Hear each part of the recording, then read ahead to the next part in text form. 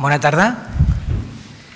Comencem avui la darrera sessió del cicle Objectes Perduts. Com sabeu, els que heu vingut en les anteriors eh, eh, xerrades que hem fet en aquest cicle, es, es, tractava d'un cicle que, tenia, que portava aquest nom perquè hem fixat l'atenció d'un costat en, en dues xerrades eh, interessades en objectes i espais que aparentment s'han perdut, que, eren, eh, que quedaven d'alguna manera lluny de la ciència eh, hegemònica, de la ciència controlada per, dels espais de ciència controlats per científics, d'un costat, i de l'altre vam centrar la mirada i van demanar la presència de, de, dos, de dues persones que no tenien en principi res a veure amb, amb la història de la ciència com a professionals, però que eh, havien portat a terme experiències eh, molt relacionades amb, amb allò que fem els historiadors de la ciència. D'un costat van convidar a Josep Perelló, que és un físic i que ens va donar un, un seguit d'exemples de, molt interessants sobre ciència urbana, sobre participació ciutadana i, i a partir del lligam d'un tema, de dos temes molt importants per a nosaltres, art i ciència. I avui eh, el cicle clou amb, amb un altre expert que no és historiador de la ciència, és un arquitecte i que ens parlarà sobre arquitectures eh, i muntatges efímers i que ens parlarà de com, de com explicar històries, de com elaborar conceptes i presentar-los davant del, del públic general. El, ell és en Dani Freixas, que és mm, prou conegut per, suposo que per tots vosaltres, eh, vaig llançar ahir, un, un, un, ahir o abans d'ahir un, un altre missatge eh, fent una presentació, com podem presentar en Dani Freixas. Eh, Dani Freixas és, és, és complicat de, de sintetitzar tota la seva trajectòria professional en, en, en dos minuts o en un minutet. Eh, el que podríem dir doncs, és que si voleu visitar eh, la pàgina web de, de l'empresa en la que treballa, que es diu Varis Arquitectes, varisarquitectes.com, allà doncs, podreu veure el, la fascinant trajectòria que ha tingut en Dani Freixas en, en el món de l'arquitectura, en el món de l'interiorisme, en el món de les, dels muntatges efímers, efímers, aquest és un concepte que, que, que potser doncs, eh, segurament apareixerà en diverses ocasions al llarg de la, de la sessió, efímers perquè en bona mesura eh, no compten, i no compten, per aquells que ens dediquem a aquestes coses, tampoc compten quan ens han d'acreditar o quan ens han d'auditar, eh, no compten des d'un punt de vista acadèmic. però en canvi tenen uns públics mm, mm, ben notoris i, i, i a vegades doncs, eh, massius, podríem dir. Bé, eh, una trajectòria llarguíssima, premiat en, en nombroses ocasions eh, eh, aquí a Barcelona als, als FAT, però també des d'un punt de vista eh, nacional i internacional. Eh, en Dani Freixas té un, una carrera eh, de, de gran prestigi internacional. Des del punt de vista de la història de la ciència, jo, jo explicava en, el, en, la, en la meva presentació per correu electrònic una exposició que a mi em va fascinar i alguns de vosaltres que, que, que la vau poder visitar fa uns anys eh, doncs, penso que també, no, perquè he comentat amb vosaltres. I era l'exposició sobre, sobre l'Esteve Terrades. Jo crec que eh, des del meu punt de vista eh, aquelles, aquella va ser una gran experiència ciutadana, eh, una, una gran demostració de com es pot explicar eh, història de la ciència mitjançant el patrimoni històric, de com es poden utilitzar les fonts materials per a transmetre una gran quantitat de, de, de conceptes, per, no només des del punt de vista de la comunicació de la ciència, sinó de la formació eh, ciutadana. Eh, aquella va ser una exposició eh, malauradament efímera, tenim un catàleg molt bo que recorda aquella exposició, però bé, allò ha passat. Eh, bé, eh, finalment, què dir doncs, de, de Dani Freixas? Doncs que d'alguna manera torna a casa, ell, torna a casa perquè va ser el, el comissari de l'exposició de, del centenari de l'IEC, però torna a casa, d'alguna manera ell es troba com a casa aquí, perquè aquest és el seu barri, no? Ell treballa aquí a prop, al carrer del Carme, ha fet també exposicions eh, molt interessants sobre, sobre barris, eh, barris com aquest, com el del Raval, amb, amb estudis eh, sobre la ciutadania que viu al Raval, sobre, sobre els, les, els problemes eh, que tenen aquest tipus de barris, però també eh, des d'un punt de vista més general sobre les identitats eh, urbanes. Bé, eh, vam pensar també que Dani Freixas podia ser un, un exemple molt bo per a tancar aquest cicle, per les feines que fa i pel significat que tenen aquestes feines per a els joves eh, professionals d'història que es dediquen a la història de la ciència. Eh, gràcies a, als mitjans eh, tècnics ara podem gravar aquestes eh, xerrades i, i quan acabi aquesta xerrada doncs, aquells, que no han pogut, aquells joves estudiants que no han pogut venir doncs, tindran l'oportunitat de veure-la en, en, a través de, de la web del, de l'IEC. I de fet eh, us deia que el van cridar per a tancar perquè eh, la nostra intenció era també eh, demanar-li a en Dani Freixas doncs, si, ens, si podia donar eh, algunes orientacions, suggerències relacionades amb, aquestes, amb, amb camins eh, de professionalitzar-se en el món de la història mitjançant els treballs que hi fa. Bé, eh, eh, la, la, la qüestió potser és tot un repte, no? En tot cas, eh, et vull donar les gràcies, Dani, per, per haver acceptat aquesta invitació i tu tens la paraula. Gràcies. Gràcies.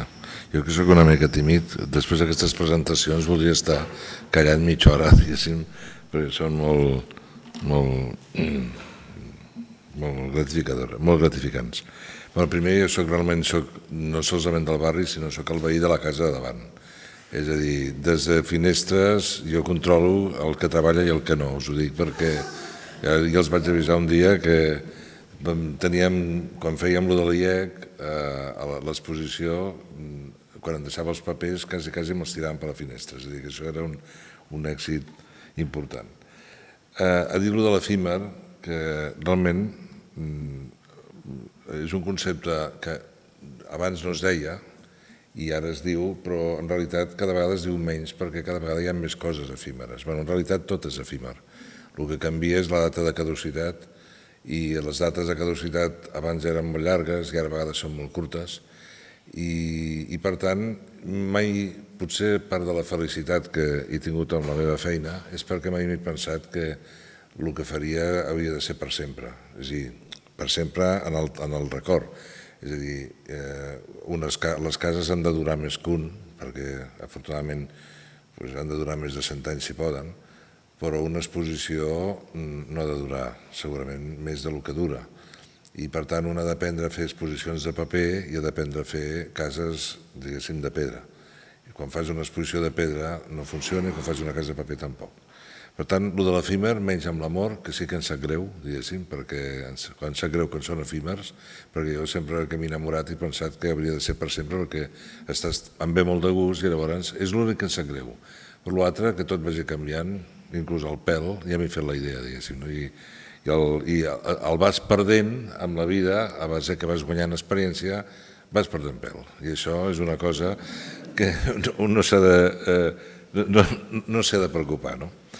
Bueno, jo per començar això, eh, sense que quedi pedant, diguéssim, però per, volia parlar de la cultura, diguéssim, una mica de la cultura, perquè la cultura en a mi eh, és tot allò que no podem oblidar, diguéssim, perquè si ho oblidem eh, no, ens perdem, diguéssim. Per dir d'alguna manera, per, per mi la cultura és el rebost que tenim les persones i, les, i la societat, Tenim un rebost i allà tenim guardat allò que ens és bàsic per cuinar el present i per, i per poder preveure el futur. A dintre del rebost, si tens coses gastades, eh, podrides o caducades, doncs no pots cuinar. Per tant, el tema és què és el que guardes i què no guardes en el rebost. Llavors, la cultura, eh, entenc que hi ha moltes coses que guardem perquè tenen molt valor, valor intrínsec amb la amb valor directe perquè n'hi ha poques, o, o són molt nobles i d'un material molt costós, eh, l'art, l'artesania la, amb, amb pedres precioses i tot, tot això en diem que és un, és un patrimoni, diguéssim, i aquest patrimoni eh, s'ha de guardar perquè n'hi ha poc, diguéssim. Però després hi ha moltes coses que formen part del patrimoni i no és un patrimoni tangible, i són patrimonis intangibles que també per mi són molt importants, com poden ser doncs, certes tradicions, certs oficis, certs records, certes memòries, és a dir, i de tot això, diguéssim, eh, la cultura se'n fa, se fa ressò i, hi ha uns llocs que es guarda tot això, que són els museus. Els museus abans eh, dedicaven el 80% de la seva feina a, a la conservació i el 20% a la difusió, i ara passa al revés, és a dir, ara el 80% es dedica a la difusió i el 20% a la conservació.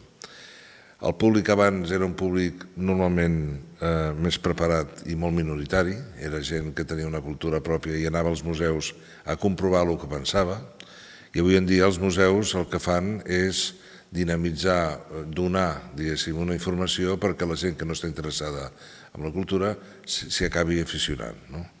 Diguem d'alguna manera que abans un anava al museu i li donaven un filet que se l'havia de, de, de tallar ell sol i ara doncs, et donen una hamburguesa, sense entrar en qualitats, però s'ha d'ajudar, diguéssim, a que ajudem una mica que la gent no hagi ni de mastegar.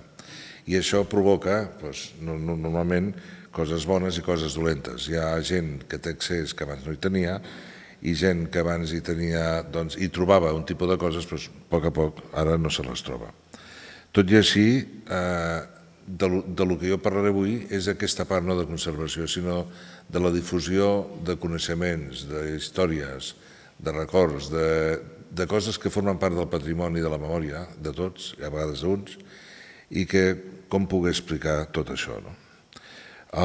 Aquestes històries les, les, no les escrivim nosaltres, és a dir, hi ha gent que es dedica a una feina que, que, que les escriu, però la professió dels dissenyadors d'exposicions, o en el meu cas concret, doncs eh, jo normalment haig de fer tres coses. Haig de, mostrar alguna cosa, l'haig d'explicar i l'haig d'evocar. És a dir, amb, aquestes, aquests tres verbs, diguéssim, jo vaig fent la barreja del, del, del, que s'intenta, que és que la gent eh, pugui eh, conèixer una història, no parlo de la història majúscula, sinó una història que l'ajudi a comprendre les coses petites quotidianes del present.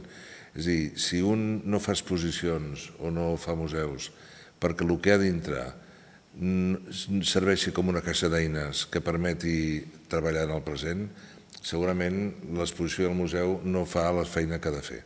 És a dir, el, un, un museu pot ser eh, un, un baúl dels records, pot ser un, un cofre del tresor, pot ser una, una caixa de bombons, però sobretot és una caixa d'eines, diguéssim. És dir, una caixa que un ha de poder trobar allà dintre eines o instruments o útils per poder interpretar el passat, per poder actuar en el present i per poder preveure el futur. Així, això m'ha quedat una mica de polític, però vull, us, ho, us ho dic amb tot el cor. Dir, jo penso que han, són caixes d'eines i, i el diner públic s'ha de gastar, diguéssim, amb, amb això. No?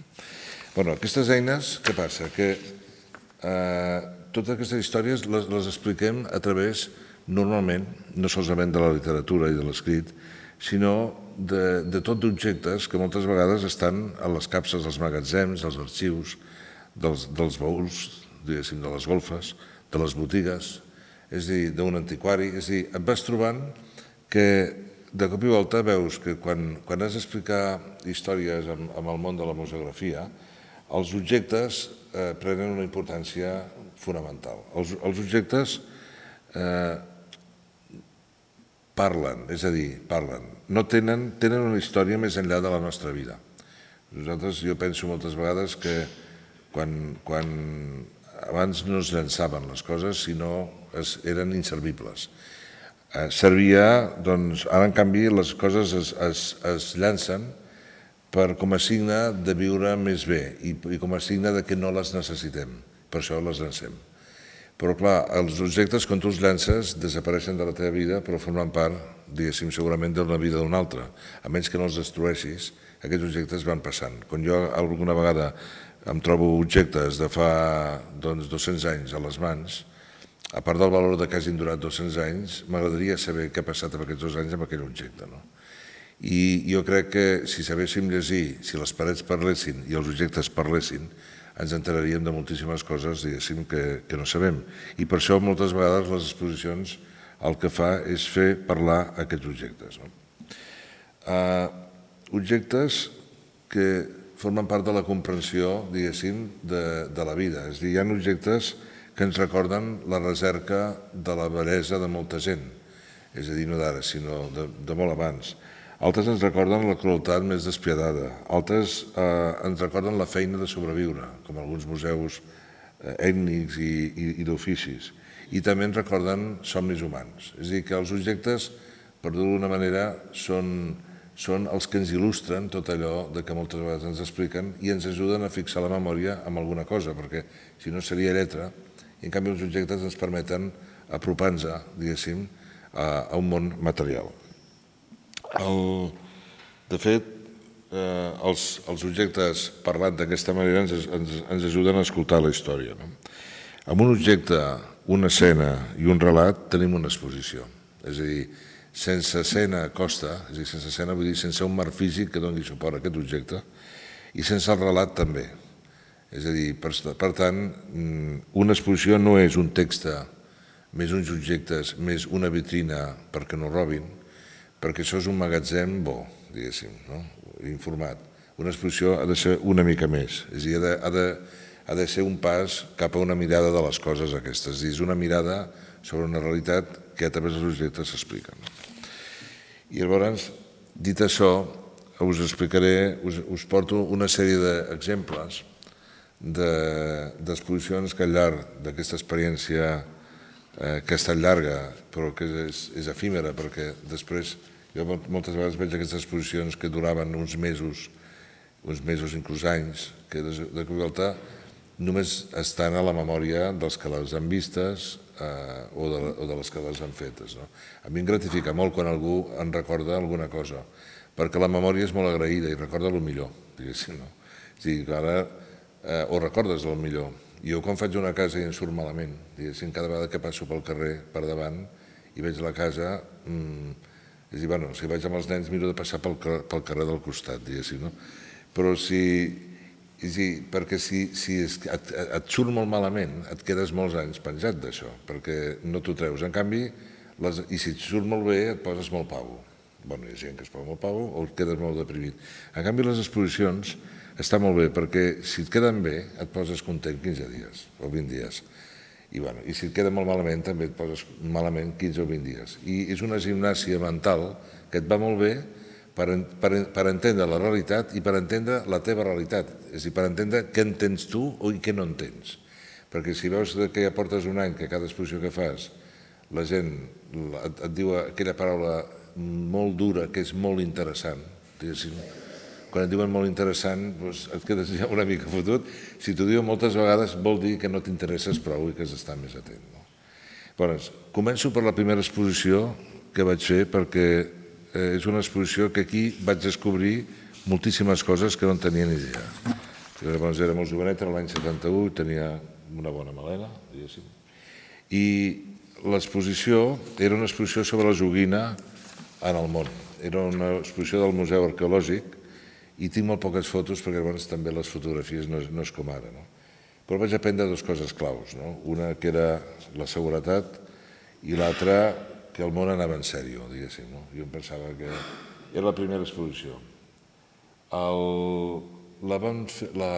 L'exposició era de joguines de, de, de tot el món, del Museu Etnològic, com he dit, etnogràfic, de, de l'etnològic, i eh, era una exposició que tenia un, un punt, que era el primer encàrrec professional que jo tenia, i això també era molt important perquè quan fan la, la primera feina que te la fan i te la paguen és una sensació quasi molt més enllà de la primera comunió, diguéssim, no? és molt més. I llavors no, no sabia ni que existien grafistes ni que existia disseny gràfic, sinó que em van dir que ho fes tot. És a dir, jo tampoc sabia, eh, jo volia fer un cartell, i llavors, aquest era el cartell, començo pel cartell, la mà és la meva, vull dir que no, no, no pensava ni que hi havia més mans, era la meva, i llavors aquest cartell havia de servir per dues coses. Jo veia que la gent no es llegia els cartells, jo volia que la gent s'enterés que havia una exposició al Col·legi d'Arquitectes. Llavors volia explicar que la mà era el primer juguet, el primer juguet en què tots els nens hem jugat, hem jugat amb nosaltres mateixos, i era una mà. Era una mà que quan l'obries era un paper eh, doblegat així i doblegat així, i i amb un truquel. Quan havia sortit una papallona, diguéssim, i llavors quan l'obries cap així, llavors sortia el text d'aquest cartell i això es posava en el vida d'un aparador. quan tenia aquesta forma tan, tan estranya que quasi és de, és de psicòpata, diguéssim, bueno, de psiquiatre, que era, doncs la gent s'ho mirava i ho regia. I això va funcionar. Jo vaig veure que com ho vas plantar això i va funcionar, vaig dir, anem bé, i, va, i vas continuar. Però, què va passar? Que jo vaig fer una exposició, eh, com l'exposició era per nens i, eren, i era, estava tot molt baixet, quasi tocant a terra, doncs jo vaig fer perquè els, els grans anéssim una mica més còmodes i les mamàs també estessin més còmodes, vaig posar amb aquestes cadires unes rodes i a, i a darrere vaig posar unes ales de paper perquè la gent que se sentava a mirar quedaven tots com uns angelets, diguéssim. No? I llavors veies tots els joguets i els angelets i era una escena agradable, perquè veies el Boigues, per exemple, amb tota aquella cara que té bruto, amb el, a, les, a les ales a darrere, també podies posar un nen petitet sentat perquè anava a poc a poc i tirant marxa enrere podies veure l'exposició que potser durava doncs, una hora i mitja no? i podies anar fent. Bueno, això era, era una de les coses que tenia l'exposició. Però l'exposició que va passar? Que la vaig fer d'una manera que era una mica naïf perquè en aquest temps no robava i menys se m'acudia que al Col·legi d'Arquitectes algú entrés a robar algun, alguna joguina de, de, de, de paper matxer. Per tant, vaig dir, bueno, doncs, Tenia una, tenien, més que una seguretat, tenien una protecció perquè no entrés la pols, perquè però, bueno, podies aixecar així i al final endur-te les peces. Va arribar, a, això s'inaugurava a les 7 de la tarda, va arribar a, el director general d'aquell moment que havia de museus, que era l'Enó, eh, l'Enó eren diversos germans, doncs algun, un dels germans va vindre amb la Guàrdia Urbana que era com era el museu, era el museu de l'Ajuntament, amb el plomer, venia amb un urbano d'aquells amb el plomero, i va dir, qui és el responsable d'això? I no havia ningú del col·legi en aquell moment, i vaig dir, jo. I va dir, per respecte a vostè, no li tanco aquesta exposició per la gent que ha vingut, diguéssim. Ara posin una persona al costat de cada vetrina i demà a les 9 del matí aquesta exposició la vull desmuntada. Era la primera feina. És dir, vaig dir, això sí que és el projecte final de carrera, diguéssim. Però aquí s'ha acabat, no? I aleshores, eh, bueno, pues, una persona es va quedar allà, era una exposició que a més a més hi havia una música de manubrio que van donar d'aperitiu orxata i llet en, en rosella, en rosella, és que era, era una cosa molt agradable, la gent estava molt bé, però tothom allà vigilant les vetines que ningú prengués res. Me'n vaig anar cap a casa i, i vaig dir, bueno, això ha estat un mal somni, avui no has dormit, eh, demà al matí ho negociarem i tal. Vaig arribar a les 9 i quart i estava l'exposició buida. A les 8 del matí van començar a desmuntar i estava buida. Clar, de cop i volta, per molt que m'havien explicat eh, la, seguretat, no sé quantos tal, eh, va ser un, un cop dur, diguéssim, perquè vaig, tocar, vaig aterrar a la realitat i afortunadament tenia un plan B, un pla B, diguéssim, perquè em diuen, i ara què fem? Jo vaig dir, home, jo també tenia un pla B, que era com una mena de laberint de galliner, en el que les peces estaven posades darrere, d'unes capses, damunt d'unes capses de cartró, perquè el maco que tenien aquests joguets és que no feia falta ni que fessis peanyes. Amb una capsa de cartró i, el, i, el, i damunt el joguet ja, ja estava bé. L'únic que passava és que no quedava prou emmarcat a l'objecte damunt de la capsa de cartró. Llavors vaig comprar unes blondes de pasteleria, d'aquestes de puntes, i, i damunt de l'objecte de la blonda ja semblava inclús comestible el joguet. És a dir, que vaig aconseguir una, una mirada eh, que només veient allò ensalivaves una mica, ja anaven bé. No? I llavors el galliner aquest era com una mena de laberint i mai sabies si el que estava darrere del galliner era el, el, eres tu o era el, la peça, perquè a vegades veies passar per del galliner a, a persones, i és que era un petit laberint amb el galliner pel mig. Llavors, aquesta segona, que la vaig inaugurar al cap d'una setmana, va funcionar molt bé i va ser la que em va donar porta que me n'encarreguessin una segona. Lo important és que t'encarreguin la segona. A partir de la segona, la cosa ja sí es calma. Però aquesta exposició em va ser clau per entendre eh, que hi havia una materialitat que les exposicions havien de, de tindre, inexcusablement, però també per entendre de que havien de tindre una poesia que també l'han de tindre perquè la tenia. És dir, de fet, el, dia, el mateix dia que la van tancar vaig rebre adhesions de gent que havia anat el dia abans i havia anat amb algú a veure-la i no se la va trobar. I per mi va ser, diguéssim, molt important. Aquesta exposició me l'estimo, primer perquè eh, és, era molt entanyable i després perquè, com tot, vas poder aprendre moltes coses. No? Veieu aquí els nens passejant.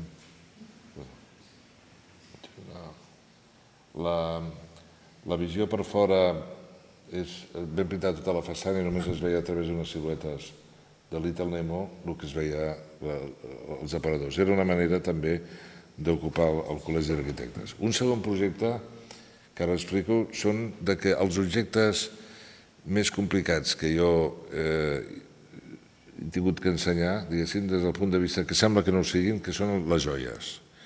És a dir, les joies eh, són objectes que tenen un gran valor, molt, molt sovint, material a més a més, i, i tenen un problema greu, que és que les joies sempre han estat, sempre les veiem damunt dels cossos humans i en moviment.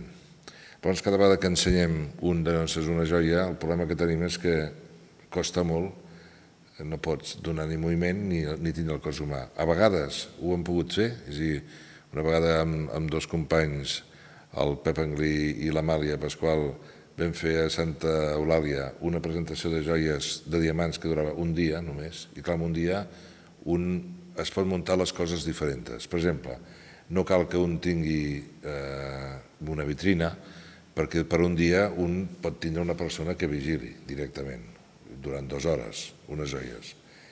I durant dues hores també pots tindre una persona que les mogui.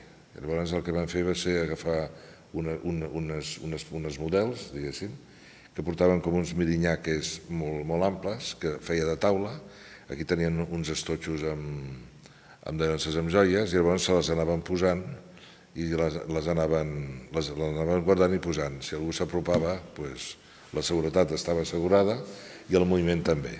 I això va funcionar, va funcionar molt bé. Però clar, això quan has d'estar més dies no pots fer-ho. Aleshores, eh, hi ha dues exposicions separades com 20 anys de diferència. Una va ser l'any 92 a Mallorca i, i era una exposició eh, que es va fer a, a Palma i a Valladolid, que era itinerant. Era una exposició que es feia amb espais molt, molt importants i molt representatius i molt macos. Aquí s'havia de fer el Tinell, diguéssim. Al final no es va fer i, i llavors eh, el que es feia és, en comptes d'anar posant vitrines, vam posar aquesta mena de vitrina que media 20 metres de llarg eh, a banda i banda, 20 metres, i, i a darrere hi ha 20 metres més de vitrina. Aquí no es veu, perquè no es veu la secció, però són com unes alforges en què pengen aquestes dos prismes de, de, de, de, de vidre i que, a més a més, s'accedeixen per darrere, és a dir, per darrere hi havia les portetes que tu posaves aquí sota posava les joies porta i porta. Això permetia que el vidre davant fos eh, pòlut, és a dir, tot, tot net, sense, sense cap mena de fusteria, sense cap mena de porta, i, i, aquest, i aquest vidre mirallat el que feia és que il·luminava, és a dir, perdó, reflectia la sala. És a dir, que quan un entrava es trobava amb aquest prisma volant que es clavava aquesta cortina com una mena d'agulla de, clava de la roba, i aleshores eh, aquest efecte del mirall, a dintre hi havia les peces. Les peces de dintre no s'il·luminaven mai totes alhora, ni, ni, ni molt temps, perquè també vaig veure que la joia normalment tu no la, no la mires, la veus. És a dir, veus un, un esclat, un, un, una, un, un llampec de llum, però normalment tu, si veus amb algú i veus que porta una arracada maca, no et quedes així mirant a un pam, perquè et criden a la poli, diguéssim, no? allò, què fot aquest tio, mirant a un, a un pam. I, I més, un caça una mica una mirada, és dir, i jo volia que la joia es vegés, es vegués així. A part que aquí dintre hi havia mil joies, i mil joies alhora no es poden veure perquè sembla eh, Alibaba, diguéssim. Llavors, es tractava que s'anessin obrint i tancant i tinguessis uns moments per veure-la, que és com es veuen a la realitat. No? Llavors, eh, vaig veure que primer no volia que es veguessin eh, juntes, que no es veguessin sempre, i llavors, a més a més, bueno, quan s'il·luminava dintre, aquí estan totes il·luminades perquè la fotografia ho recull així, no? Però a més a més l'altra cosa que passava és que com, quan no hi havia llum a dintre, tu et quedaves il·luminat i et veies al mirall. I aleshores, quan s'il·luminava dintre la joia, doncs, si sortia, per exemple, doncs, un anell, doncs, tu veies que la gent anava fent així i es provava l'anell, o es provava la racada, o es provava el collaret, diguéssim, perquè superposava les dues imatges, la real i la del, la del mirall. I, eh, aquesta va ser l'aproximació més directa que vaig poder fer en la pell humana i en el moviment. És a dir, més allà no, no podia. I després aquesta cosa que té la joia, diguéssim, que no sempre està a la, a la disposició de la teva mirada, que també és el que volia explicar. Ja, això...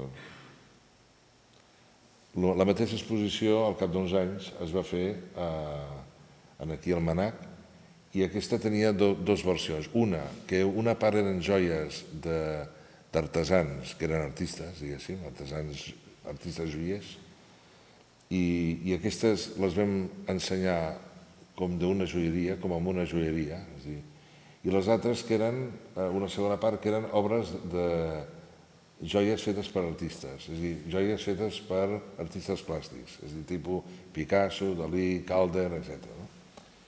Les primeres tenien un, un llenguatge i un sentit i, un, i un, també i una gràcia, i la segona pues, tenien un discurs diferent i per tant el resultat també era diferent. L'exposició per explicar això del cos vam agafar una, una figura del Gargallo que té un braçalet molt maco, uns braçalets molt macos, i que explicava, intentava explicar això del, del cos humà, de la pell i la joia i la roba també, la, la important també la joia a vegades el seu suport no és la pell sinó és la roba. Aquesta mena de calaixets, diguéssim, eren uns calaixets que estaven ben agafats i no podies agafar-te'ls i portar-te'ls i, i cada un d'aquests anaven, hi havia les joies a dintre que, que eh, una mica era eh, l'aspecte que tenen les joieries quan treuen els calaixos i t'ho ensenyen i permetia individualitzar les peces, il·luminar-les diferents i donar aquest aspecte que en aquest sentit era una altra manera d'explicar de, de com ensenyar aquestes joies. Al fons hi havia unes imatges que també les històries a vegades s'han de donar un context, que eren aquestes joies posades en els llocs on eren usades, al ball, les recepcions, és a dir, explicar les joies que ara és una mica diferent i abans tenien un paper estratègic dintre de la comunicació, diguéssim, de les persones de la societat. I després, com sempre, posar les parets a una part de, de, de, de, de literatura i de pensament, més que de literatura de pensament. Les, les exposicions, a vegades, l'únic que es veu escrit és la descripció de materials i de coses que, eh, de les peces. I jo trobo que és molt maco a les exposicions hagi eh, tot allò que altra gent que pensa ha pensat al voltant d'aquest món. No? És a dir, que abans de, de forismes i de frases, un es pot dur una part sucosa d'un llegat intel·lectual. No? Aquesta posició. La segona part era més complicada. La segona part intentava descomposar aquella vitina que heu vist feia 20 anys enrere, eren uns prismes de mirall, de vidre mirallat, que reflectien la peça que hi havia, eh, eh, perdó, que hi havia a davant. Aquí, per exemple, la peça aquesta és del... del, del no, ara no recordo de què és, però eh, la, la peça a la vitrina era la joia d'aquest artista i cada un en tenia, diguéssim, la de davant. Llavors, clar, tu miraves i veies el reflexe de l'obra i després sobre aquest reflexe de l'obra apareixia la joia.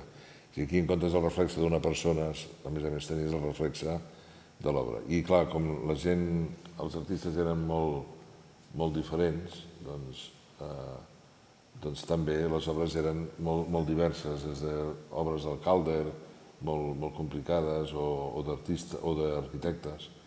I el que sí és que sempre hi havia aquesta relació entre l'obra d'una banda i, i el reflexe d'aquesta obra damunt de l'obra de joieria. Aquest, per exemple, és un, aquest això que veu a l'esquerra, és un collaret del Calder, que veu que té unes bones punxes per tot arreu, no? És dir, que és un... tot això. Es diu El, el marido celoso, el, el Calder molt... Llavors això, i també al final hi havia, en aquesta exposició de joies, la roba que és, que, que és, una, és, un, és una constant de tots els ullers, les seves referències que fan sempre a la importància que té sobre on anirà. si va sobre la pell o sobre la roba i les característiques que ha de tindre. D'aquestes dues exposicions, diguéssim, de les joies, eh, cosa mm, clau és la singularitat de l'objecte com a tal, perquè jo no m'he trobat exposant ni que el, tant els objectes amb, amb les exigències que em demanen les joies, ni tampoc tants objectes que per ells mateixes ja justifiquen. Normalment els objectes ajuden, diguéssim, a, a explicar una història i a canvi aquestes porten ja la història i les mateixes. Una exposició complicada, dues exposicions complicades. Una són la de la música i la del, la del cinema. La música, el Museu de la Música d'aquí a Barcelona no volia fer un museu d'instruments musicals, sinó volia fer el Museu de la Música, i per tant l'objecte era la música. I, les, i els instruments eren eh, els, els, els protagonistes que ajudaven a explicar aquesta història. Explico també com a dificultat perquè eh, la música és una cosa que sona i, i així com els quadres vosaltres en una sala podeu veure doncs, 4 o 5 quadres a l'hora i, i poden haver 10 persones i, i ho poden veure tots alhora, és a dir, no hi ha problema d'espai. En un museu de la música eh, l'espai es converteix en excloent. És a dir, si tu vols escoltar música o bé eh, algú vas amb auriculars i t'aïlles, diguéssim, o bé eh, la música ha de ser seqüenciada, primer un, una, després una altra, després una altra, i normalment el, els, els espais no estan preparats per això, hi ha una, una eh, colonització del, del so per tot l'espai. Aleshores, aquests dos problemes els havíem de resoldre. Per una banda, no volíem que la gent, com algun museu de la música, bo, com el de París, però que a mi m'inquieta una mica, que vas amb, amb, amb auriculars tota la visita i no pots comentar res amb el del costat, eh, el nen t'estira de tant en tant perquè va dient coses innocents, bueno, i, i també perquè no se senten bé. No? I llavors aquí vam optar per dues coses. Una, vam optar perquè volíem assegurar que l'auricular pogués donar informacions que és igual que se sentin a nivell individual, per exemple, com quan sona un clarinet tipus o quan sona un flautí, com sona o aquell flautí de qui, de qui era i quina era, i però després tindre l'experiència de la música conjunta i llavors que tu poguessis sentir música tota l'hora, no? eh, d'una manera natural. Llavors això doncs, genera un muntatge, doncs, és un, que aquí vam dir, el Museu de la Musiqueta és un gran estuig vermell on s'hi guarden els instruments, fent aquesta analogia amb, amb, amb, amb, amb els estutxos i també és una enorme casa de música i Montserrat Creix actua com un gran instrument que interpreta les partitures que se li sol·liciten. És més que una col·locació ordenada en l'espai d'una extensa i velosa, és més que anar col·locant això. Les dues consideracions, l'audició de la música ocupa un espai i un temps concret, els protagonistes no són només els instruments, sinó la música que sortim d'elles. I aquí, eh, bàsicament, el que volíem resoldre era aquest colonialisme acústic que fa que compatible la visita individual i col·lectiva, satisfer els diferents nivells de formació i curiositat del visitant. Hi ha museus de que només la curiositat és comuna i, ha, i, és, i, i pots compartir-ho, però en un museu de, de la música hi ha moltes diferències entre els que saben música i els que no en saben. I això afecta molt el, a com comuniques els coneixements i després també assegurar que el, que el museu estés viu, és a dir, que mm, pogués tindre lectures diferents i es pogués anar ampliant tots els seus continguts al cap dels anys. No? Eh, això ho vam intentar resoldre doncs, de dues maneres. Una, amb una, amb una distribució, perdó, amb una distribució racional al voltant d'un gran pati, no sé si coneixeu, eh, el, és el segon pis damunt de l'auditori, i i el, el primer que s'havia de fer és racionalitzar al màxim possible la capacitat. No? Però com veureu aquí hi ha tot, tota aquesta mena de capses no? que són aquesta mena de, de bacoles que aquest diguéssim és el, és el truc una mica de les... Les, llutines aquestes són, diem com que les convexes, perquè permeten, són de vidre, són parets de vidre i permeten eh, mirades de fora i també entrar dintre i mirar des de dins. Veus els mateixos objectes, el que passa és que des de fora tens tu l'audioguia que diu les coses concretes de cada un dels instruments i quan entres a dintre sents tots aquells instruments tocant alhora. A banda hi ha una llum que il·lumina els instruments que toquen i després a les parets, per exemple aquí i aquí, que es veu a través dels instruments, en comptes de posar grafismes o posar imatges del temps, a mi m'agradava eh, passar imatges de tota la gent que en el mateix moment que es feia aquella música estava buscant la bellesa, diguéssim, no? És a dir, escultors, pintors, eh, arquitectes, literats, és a dir, tota la gent que a part de la música eh, estava buscant, diguéssim, aquesta cosa, l'art. No? I llavors això a vegades, eh, juntar eh, música i plàstica et serveix per entendre, almenys a mi, les dues coses. Aquí veieu això que us explicava, la part de dintre, des, des d'aquí dintre, a dintre de fora pots veure, més aquesta mirada que es pot veure des de fora havia moqueta vermella al terra, algunes parets i llocs per seure's i tot estava folrat, a més a més per qüestions acústiques, és a dir, per evitar que anés rebotant el, el, això, el, el so.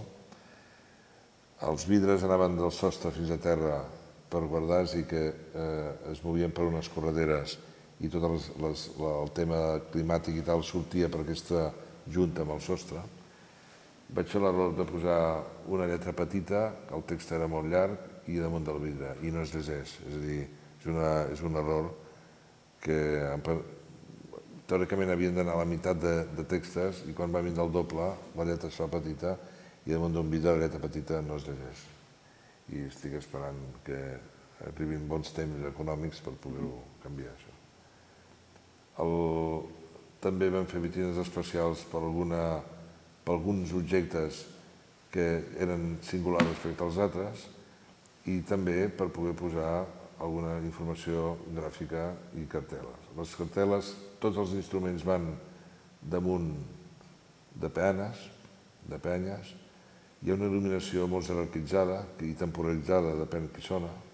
I són, serien eines amb un museu de la música que fan falta. No? Els audiovisuals sobre les parets que expliquen més que imatges acompanyades de música, jo volia que fossin música acompanyada d'imatges. Això costa molt perquè la que hi ha una, una imatge que es mou es converteix de seguida en un audiovisual. Jo en aquí no volia audiovisuals, jo volia que aquestes imatges canviessin cada 30 segons. O sigui que quasi, quasi fos com un calendari mm, actiu, diguéssim, no? un, quadre que es mogués. S'atropa més els quadres del Harry Potter, diguéssim, d'aquells que es veuen a les escales, que no a, a, un, a, un, a una imatge convencional d'audiovisual. Després hi havia un pròleg fonamental també i una pila que podies veure per transmetre l'estructura del, local, del museu i com, com es podia usar. Perquè insisteixo que aquest museu té, és molt més complicat que els altres perquè la percepció no és a l'ull, sinó és l'orella, i aleshores això, eh, l'orella i el coneixement de lo que et poden dir. Doncs no n'hi ha prou anar amb curiositat, perquè depèn quins coneixements hi ha diferents nivells de, de, de visita. No? I després, eh, amb tot això, doncs, amb aquests ingredients, amb la llum, amb, amb, la, amb les vitrines de vidre, perquè no es vegués un altre objecte que no, que no fossin els instruments, doncs, vam fer aquest recorregut.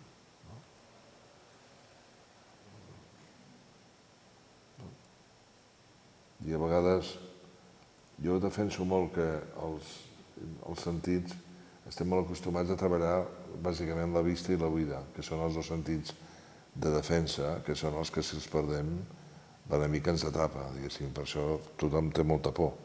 Però els altres tres eh, sentits, que són l'olfacte, el tacte i el gust, que els considerem de la categoria dels lúdics, són fonamentals per, per tindre la, la, la plenitud de felicitat sensual, diguéssim, de poder aprofitar tots, tots els sentits. El, el, el, el Tete Montoliu, que era, sabeu que era sec, no? Jo tenia la sort de conèixer un amic el, que cada vegada que feia jo algun restaurant l'invitava que em digués aviam què li semblava el restaurant, perquè tenia amics que veien l'arquitectura millor que el Tete Montoliu, i em deien aquest color és maco, aquest color t'ha quedat una merda, aquest... però en canvi el Tete Montoliu em deia coses que ningú em deia, perquè deia aquest local no fa bona olor, o aquest local, què és aquest soroll que sona? I tu posaves l'orella i, i efectivament anaves, o per exemple es posava amb, amb, amb la textura de les, de les cadires o de, la, o de les estovalles, i aquesta capacitat de, de que formalment allò amb ell li afectava en positiu o negatiu, volia dir que la gent, a les persones que també veiem, també ens afecta. El que passa és que no ho notem. Bueno, no ho notem, no ho tenim racional. Però em semblava clau que volia dir que si el Tet de Montoliu li agradava el restaurant, només em faltava que fos maco la vista, diguéssim, no? i que sonés bé, perquè l'orella també tenia una orella magnífica, no? natural. I, I aquests tres sentits, que no són la vista i l'oïda, pues, són fonamentals per a la nostra vida, perquè tots els que estem aquí, diguéssim, som fruit d'un deliciós eh, exercici de tacte dels nostres pares, diguéssim. No? O sigui, si no, no ens, no, ens, no ens haguéssim procreat. I llavors, per això és, és important que també el tacte és un dels sentits que a les exposicions si es pot, es pot, s'ha de posar. Bueno, l'exposició aquesta no té, tenia, més, tenia totes les fotografies posades i el que sí és que vaig intentar, veieu que les penyes no es veuen, vaig intentar, ai, no es deu sentir, se sent bé, sí? Vaig intentar, eh, que a mi el que m'agradaria és que sortís un invent que fes que hi haguessin capes d'aire que de cop i volta es convertessin dures, no? i que tu eh, i uns camps gravitatoris que deixessin les coses a l'aire. Això seria el museu perfecte, que quan t'apropessis fes mm, mm, i no poguessis, no s'embrutessin i, i, i això. Però clar, com això no es pot fer encara, doncs, moltes vegades intento que el vidre eh, aculli aquest aire i que no... I a mi no m'agrada fer vitrines, perquè les vitrines tenen un punt de sarcòfag que no m'agrada i són una mica necrològiques. Llavors, quan més, menys s'assembla una vitrina, millor. L'altra exposició, aquesta és una... L'altra exposició, bueno, i per acabar, no? aquest era un espai dirigit a les persones, on es parlava de, la músic, de músics, de música, d'instruments i de la societat de cada temps, però sobretot es parla d'art i de la recerca de la bellesa. És dir, això també és important, de que els museus eh, està bé que persegueixin a través dels objectes intentar eh, desvetllar aquest misteri de l'art, diguéssim, que, o aquesta manera de que quan ho fas la gent veu les coses d'una altra manera, és a dir, comença a veure-les d'una altra manera. I, I realment hi ha gent que la bellesa li interessa com a, com a objectiu i altra hi ha gent que li interessa com a mercaderia, és a dir, com a objectiu per entendre el món, a mi em sembla que va molt bé. Un altre projecte on hi ha un altre intangible complicat és el, el, el Museu del Cinema, perquè el contingut de la, del, del Museu del Cinema eh, és un contingut molt, molt curiós. És dir, la història del cinema, el cinema és... Eh, el que entenem, molta gent es pensa que el cinema neix amb els Lumière, diguéssim, no? que és quan es fa palesa una cosa Eh, però és, el, és un fotograma, la, el descobriment del Lumière és un fotograma dintre d'una pel·lícula molt llarga que comença amb la literatura, que és un desig de les persones de poder viatjar a un altre espai i a un altre temps a discreció. Això ho ha fet a través de la literatura, després ho va fer a través de la pintura, a través del teatre, però aquesta cosa de no estar en el lloc ni aquí, ni ara ni aquí, és un desig que tenim ancestral. No? I aleshores, en realitat, la, el cinema no és més que la, la materialització de la màquina del temps. És a dir, quan la gent diu és que la gent no ha inventat encara la màquina del temps. No la tenim perfeccionada, diguéssim, però ja l'anem inventant. Perquè la, el mateix cinema de l'any de començaments del segle XX a ara doncs ha incorporat el so, ha incorporat el color, ha incorporat el format, ha incorporat la tercera dimensió, és a dir, ha incorporat tot de coses que l'únic objectiu és, és mirar-te de transportar-te a un altre temps i a un altre espai. No? Llavors, la col·lecció aquesta Tomàs Marol, aquest museu, intentava explicar això, és a dir, no tant eh, una, una exposició d'arqueologia industrial, que té un interès però que no, per nosaltres no era el cas, sinó intentar veure aquesta carrera darrere d'aquest somni, diguéssim, com es feia. I clar, canvia molt també quan una, una, un museu d'algú tan material i tan, professional com és el cinema, eh, eh, s'entén des d'aquest punt de vista. I com el Tomàs Mallol era el col·leccionista, era la persona que havia portat tots els materials, eh, jo crec que ens vam entendre molt bé i, i, ho, i ho va entendre. No? El, el museu aquest està a Girona i, i aquí també l'objecte no té l'interès de l'objecte com a tal perquè el valor, n'hi ha algunes, algunes peces que n'hi ha poques, però són, són peces que no són com l'art, són repetides i són seriades i són escasses perquè el temps les ha anat, diguéssim, mutilant o fent perdre. Però el que és maco d'aquestes peces és el que evoquen, és el que et fan pensar de, de lo que han aconseguit. Al museu eh, hi han des de les ombres xineses fins a la càmera fosca, fins que és, és una màgia total que en ple segle XXI la gent ens meravellem eh, fent un forat a la finestra que entra la llum i des d'allà veus la, la plaça de davant al revés i movent-se, diguéssim, no? I que amb un mirall la veus al dret i que la gent pensa, però com es fa això, com es fa? I dius, no, és un forat i la llum, i no s'ho creuen, diguéssim, es pensen que hi ha un vídeo, però el vídeo on està? És a dir, no hi ha, l'única tecnologia és l'observació de quan érem tots petits que teníem un forat a la persiana de casa i veiem la gent del poble com passava per davant a través de la càmera escura, diguéssim, no? que és la mare de tot l'invent del cinema. No? I representar aquestes, aquestes coses al costat de les peces perquè la gent entengui aquestes peces és el que donen suport a aquesta màgia. És a dir, les peces no tenen aquesta màgia, però aquests fenòmens com la càmera escura i la màgica sí que en tenien hi ha tota una col·lecció magnífica de llanternes màgiques. Eh, és un instrument igual que un reproductor de, de diapositives. És a dir, en 300 anys no havia canviat la manera, ara ha canviat amb els canons, amb això. Però fins fa 10 anys doncs, estàvem utilitzant una llanterna màgica elèctrica per una llanterna màgica.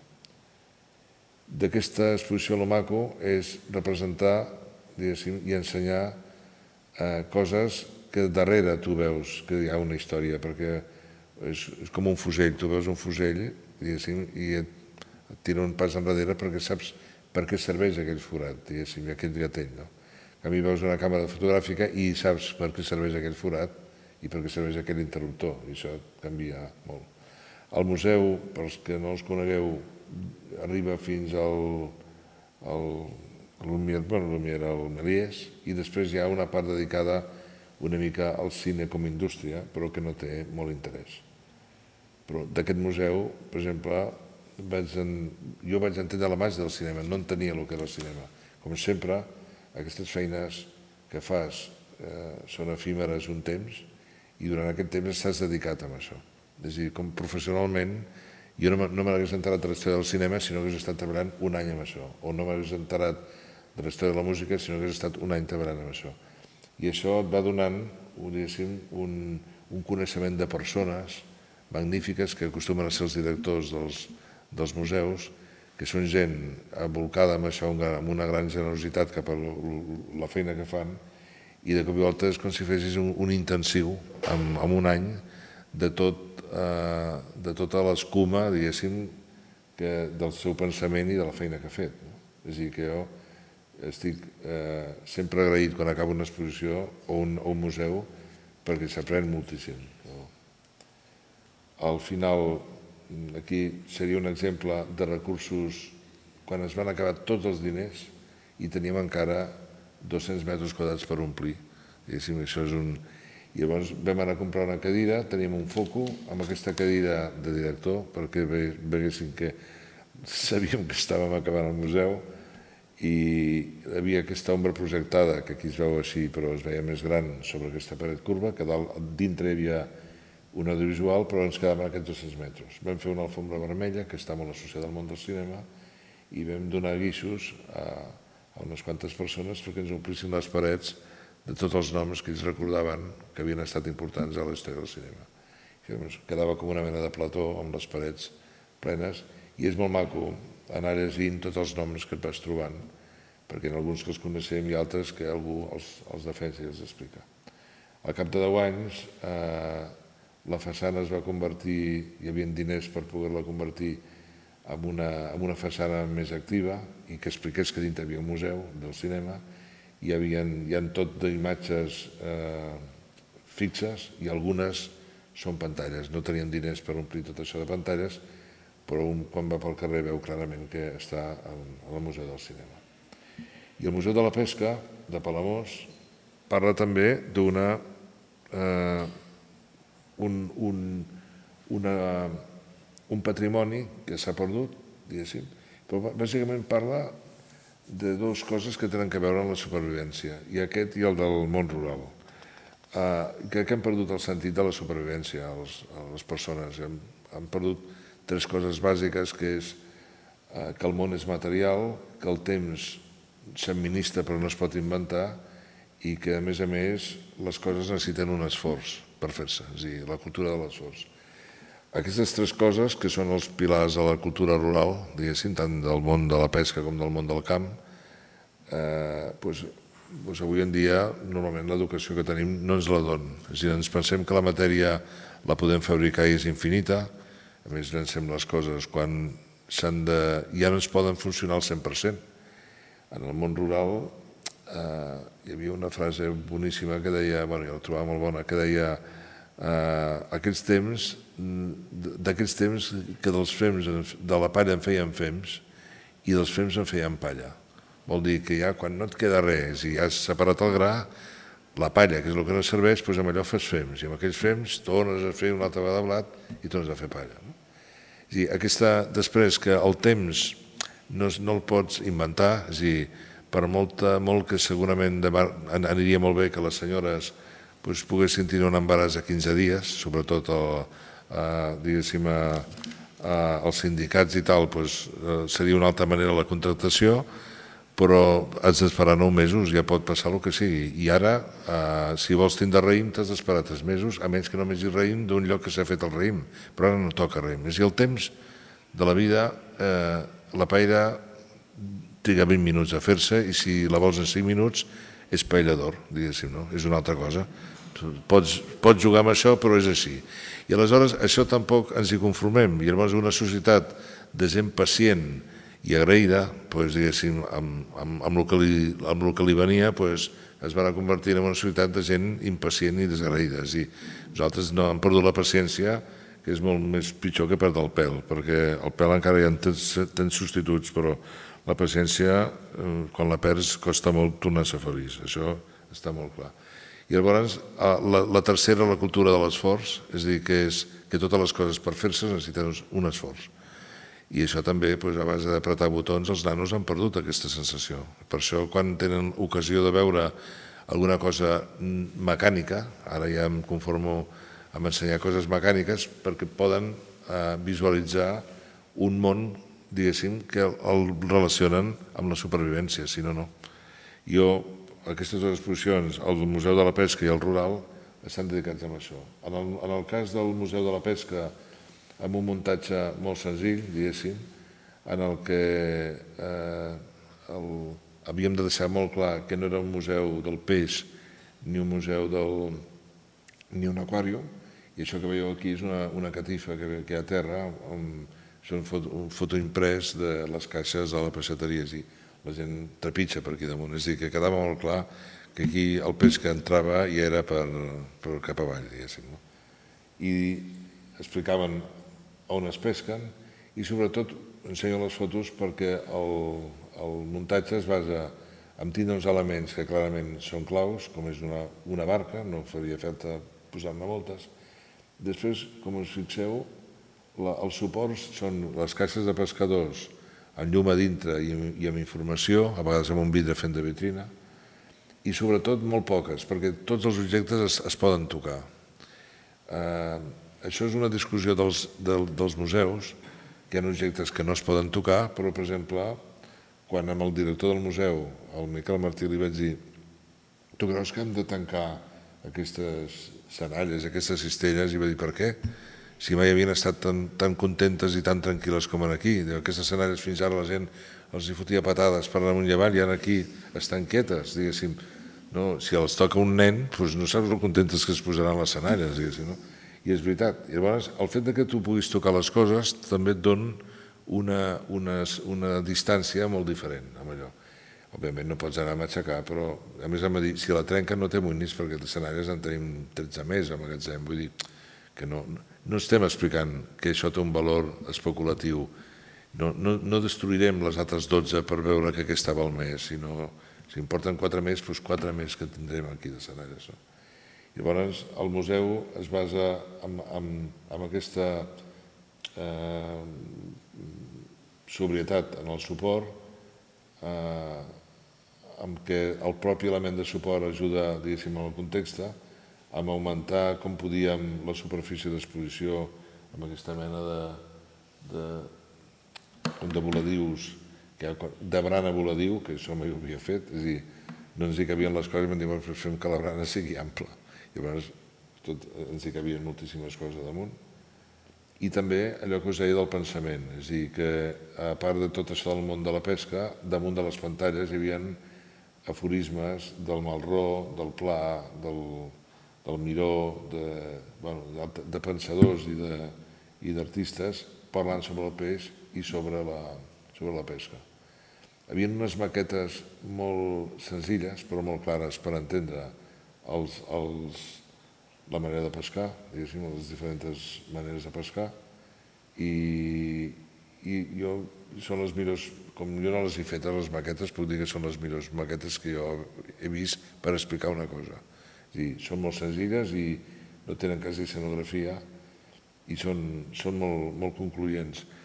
I després hi ha també una part important dels museus, que també les, la dic perquè forma part de, de, de, dels, de les coses per parlar-ne, diguéssim, que és dir, de les coses a, a, a recordar, que és la memòria oral és a dir, malauradament, el, els museus d'etnologia tenen objectes que et permeten doncs, entendre el passat, però sobretot eh, encara hi ha possibilitats de recuperar la memòria directament i si, val, si es pot fer doncs val la pena.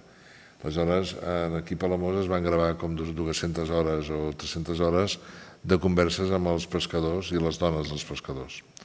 El, aquí, en aquest racó, eh, si t'assentes, sents les converses de les dones, que normalment se sentaven apareant les, les xarxes. No? I en el, no tinc la fotografia dels homes, que és al voltant d'una taula de dominó, diguéssim, que també déu nhi És una, una taula d'aquelles de cafè, de marbre, hi han quatre, quatre fitxes. Són dues maneres diferents de, de xerrar, però també és un patrimoni que no, no s'exposa com a objecte, però forma part de l'objecte del propi museu. I després, eh, una cosa d'aquesta exposició, que era l'objectiu. És dir, clar, un no té ni interessos a la pesca, ni sap mm, a millor pescar, ni penses, bueno, jo quin vincle tinc jo amb aquest món? És dir, un món que em diuen que faci un responsable de la pesca, de lo que menjo i tal. Doncs perquè, clar, entre un peix i tu sempre ha hagut un pescador, diguéssim. És un món que no és aliè i que tots aquesta setmana, qui més qui menys, s'ha pres, en 15 dies s'ha menjat un peix, diguéssim. No? Per tant, no és, un, no és allò, és que jo la filatèlia no m'agrada i m'he enganxat un cello, diguéssim, un segell. Vull dir, no, aquí un peix l'he menjat i a vegades pues, està molt bé que algú et digui i valori eh, el, el, el pas, que, és a dir, el per què és de ser cuidadors, que en realitat com a eina de, de, de cultura, pues, per què és de ser cuidadors amb la, amb l'hàbit de, del, del, del pes, del, del litoral, de pescar, tot això. És dir, fent una mica responsables. El Museu de la Vida Rural és una ampliació d'un museu que en Lluís Carulla va muntar fa molts anys, ara s'ha renovat i s'ha ampliat, i el que eh, aquest museu explica és aquestes tres coses bàsiques que us he dit de la matèria, del, del, del temps i, del, i de la cultura de l'esforç, aplicat a com, sobretot, un món eh, s'ha extingit, diguéssim, a través de la revolució industrial i, sobretot, la revolució mecànica en el camp. I això ha, representat un canvi brutal en el territori, que encara queda...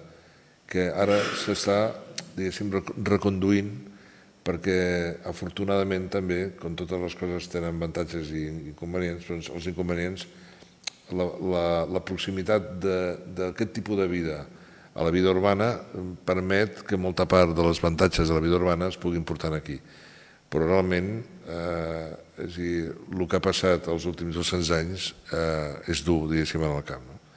I de totes maneres és una, és una experiència molt maca per entendre un món que no, jo no he viscut, l'he viscut, no l'he llegit. És a dir, el, els meus, els meus eh, parents o quan he anat al camp o tal, recordo, és dir, jo encara recordo els carros d'escombraries de, aquí a Barcelona anant a cavall, diguéssim. No? Per tant, el poble, l'olor del ferrer i tot això, doncs, no ho dic en plan anecdòtic, sinó ho dic en plan de formar part d'una realitat.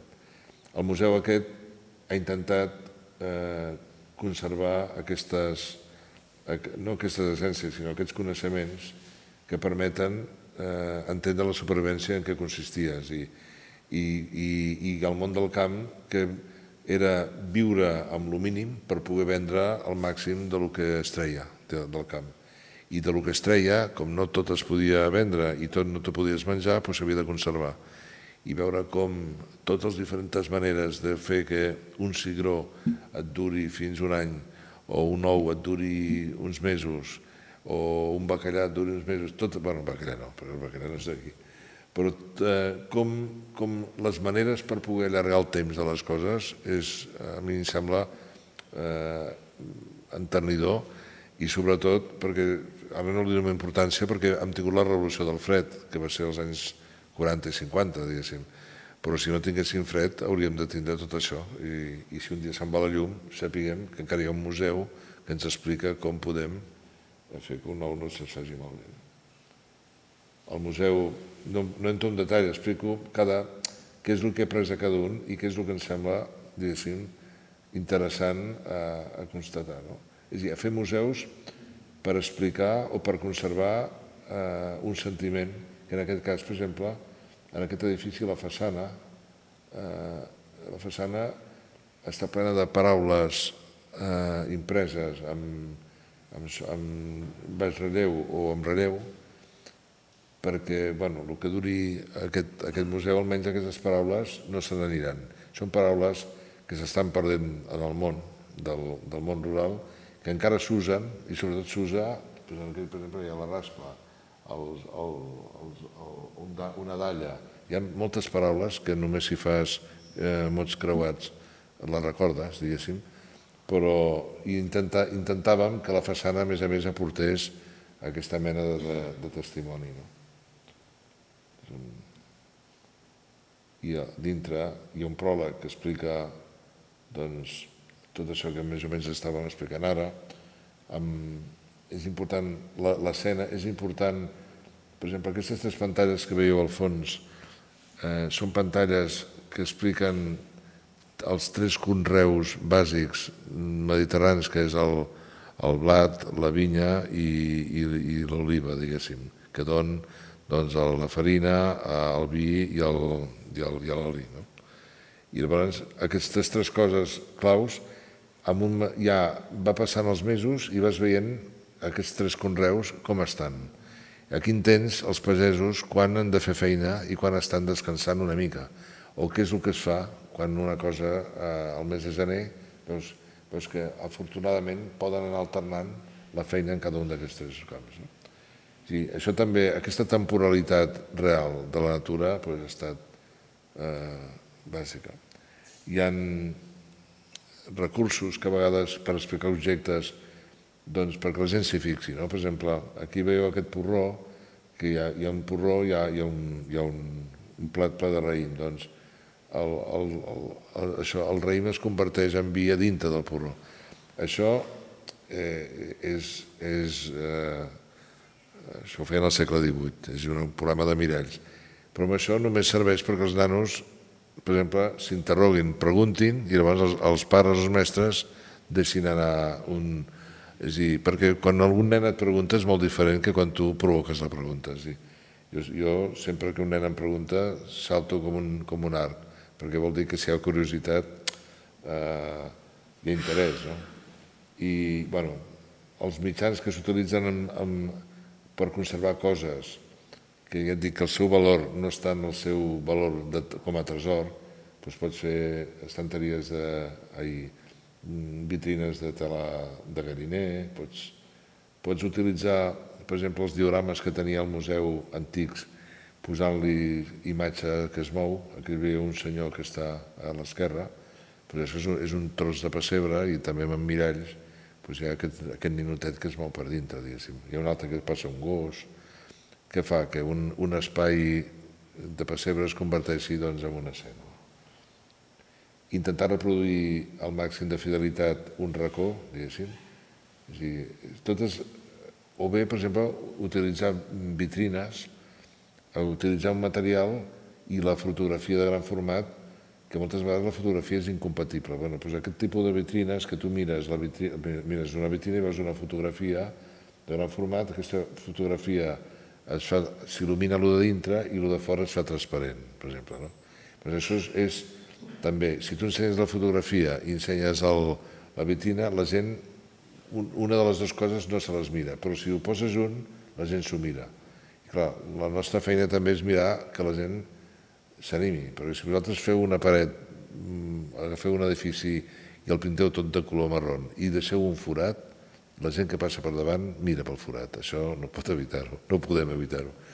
De fet, al, al Museu Dalí eh, volien posar un aparador per, per ensenyar el que venien a dintre i ningú s'hi parava. Es van pintar tot l'edifici del costat de color tot, els vidres, tot, i vam deixar només la firma d'ell buida perquè a través de la, de la firma es podia veure el, el que havia dins. Pues tothom es plantava a mirar, dir, la curiositat és, és infinita. Aquests són exemples, diguéssim, de recursos per poder explicar tot això. O, per exemple, allò que us deia de l'efecte aquest dels miralls. Aquesta és una escena d'una habitació en què hi ha una bala de palla, un, un com es diu, dels, dels bous de, del cavall, el, el, no, el, el, la, com la sella, però el que va al coll. Això no sé com es diu, això. Una roda de carro, eh, un, un barret de palla i un tronc i una dest, amb un destral. Doncs això miraves i de cop i volta canviava i es convertia, eh, no canviava la cadira, no canviava la taula, no canviava el tronc, però en canvi la d'estal es convertia en, en una motosserra, la roda es convertia en, un, en una roda de tractor, la, el dels cavalls es convertia en una xupa de, de motorista i el barret en un casc. I la data doncs, era 100 anys després, és a dir, veure que eh, més o menys tot el que havia anat passant en, aquest procés de mecanització. Al final, també una cosa bàsica en els museus d'ara, que eh, no pots quedar només parlant del present, bueno, parlant del passat, i llavors en aquest museu hi ha un foro per parlar del present, en el que eh, hi ha molts agents del món del, de l'agricultura que tenen gravats coses eh, de gent que fa pràctiques diferents i que totes van a favor, diguéssim, d'un camp millor, no? des de gent que conreua eh, un tipus de, de llavors, des de gent que eh, l'aigua la, la, està pendent de que una raça no es perdi d'alguna bèstia, gent que fa vi d'una altra manera i el comercialitza d'una altra manera, és a dir, tot el que està passant en el present i que don dinàmica eh, i don futur a aquest sector, doncs també estava molt bé que el museu agafés aquest paper a vegades de, centre d'interpretació. De fet, per exemple, hi ha totes aquestes forques que expliquen, que fan com una mena de... estan tractades com si fossin obres d'art, diguéssim, expressament, per veure que formen part ja d'un món que es mira com, com així. I després hi havia hi ha una, una, eh, un gran, una bola feta amb, amb audiovisuals i miralls per explicar els grans reptes del futur. No? És a dir, això també s'ensenya a través d'un intangible que és la imatge. La imatge audiovisual sempre va molt bé per explicar allò que no tens, però si ho tens és millor explicar-ho perquè els objectes tenen aquesta proximitat i aquesta, eh, aquesta, aquesta cosa insubstituïble, no de la tercera dimensió, sinó de l'objectual, de lo real. És el que ens, això ens agrada el teatre. Eh, a vegades el teatre es, es fa cansat perquè no estem habituats a aguantar tanta estona davant, sentats en un lloc, mirant, veient el mateix. Però la tercera dimensió és màgica i, el, i crec et dona una sensació de vida que les exposicions te la donen. El museu, i ara s'ha ampliat amb aquest petit cos d'aquí. Com a, bueno, jo, mm, com em vas dir fins als 9, jo, si no vaig continuant, sí,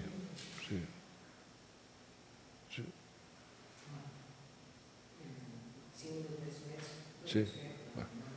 No, com, com tu em vas dir de 7 a 9, jo me'l crec molt amb ell, saps? Vull dir, si em diu una cosa... Vale.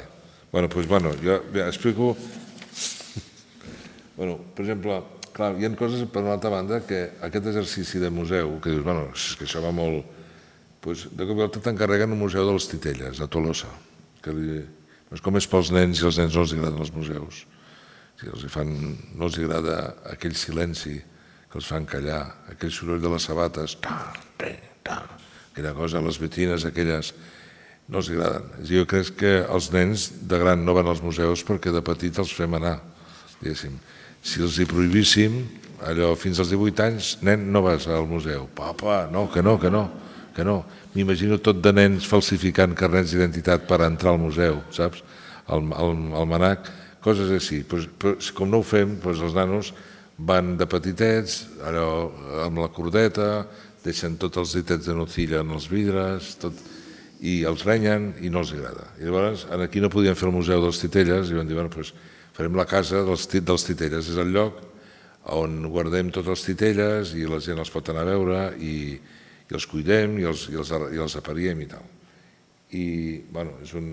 Jo haig de dir també que eh, vaig estudiar arquitectura, la, la vida m'ha fet a fer arquitectura, exposicions, interiorisme i tal, però a més a més, quan vaig acabar la carrera, que no hi havia feina, vaig fer durant dos anys de titellaire jo. És a dir, treballava amb, els, amb la companyia dels Claca, me'n vaig anar amb ells, i vaig aprendre Catalunya, per exemple, me la, me la conec fent titelles, perquè no, no me n'anava a, a Anglesola o així, perquè sí, però en canvi, com, també amb els titelles, doncs, avui tocava Anglesola, demà Tornabous, després un Alcanar, i si em vaig anar fent la idea amb els bolos aquests.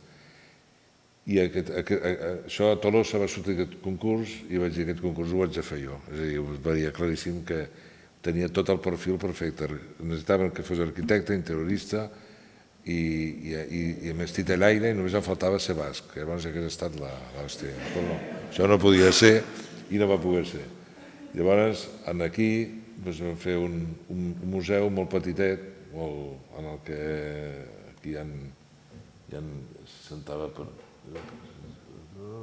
sí, per aquí, estava per aquí, i llavors, clar, el dels titelles era molt important que el nen eh, en, en, eh, se li posés el ninot no com si fos un, un, un ninot, és a dir, un, una, un titella no és un ninot, és a dir, un titella és un ninot que, que té una ànima i l'ànima la posa la persona que el mou i la persona que el mira.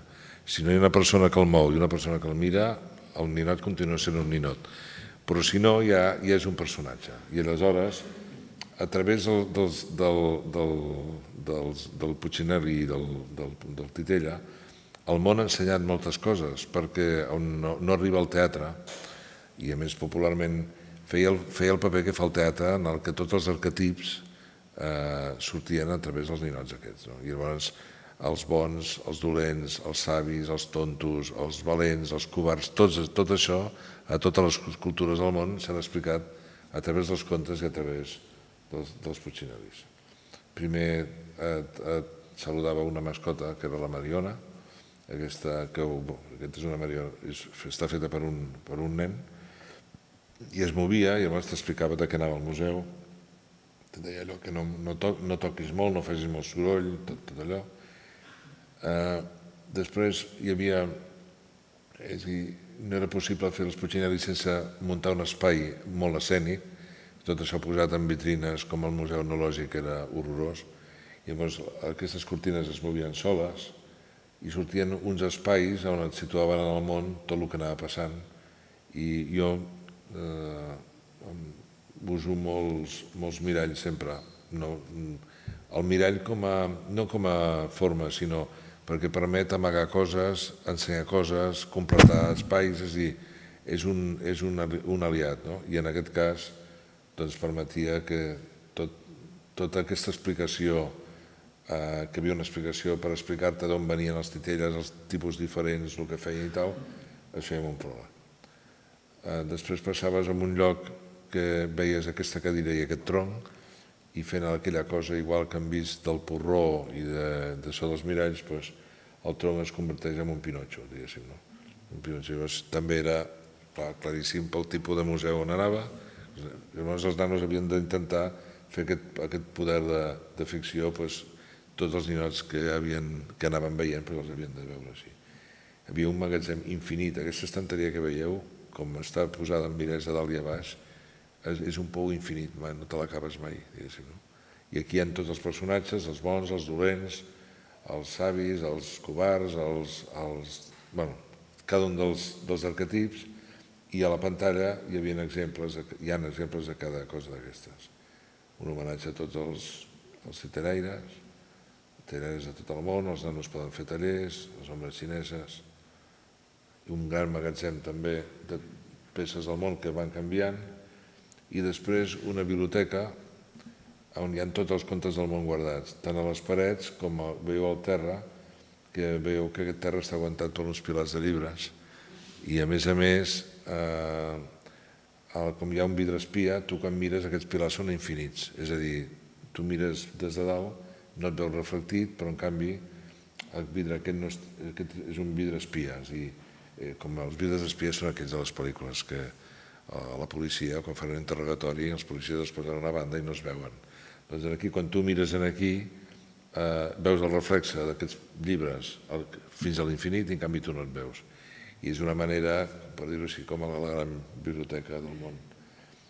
Eh, per exemple, això explica que segons quins museus l'escena està per damunt quasi del, de l'objecte. Els putxinaris aquests els veuen un dia pel carrer i no passa res. Però posats en aquest context, el que era important és que veguessin sobretot la transcendència del relat i la transcendència de les històries universals. No?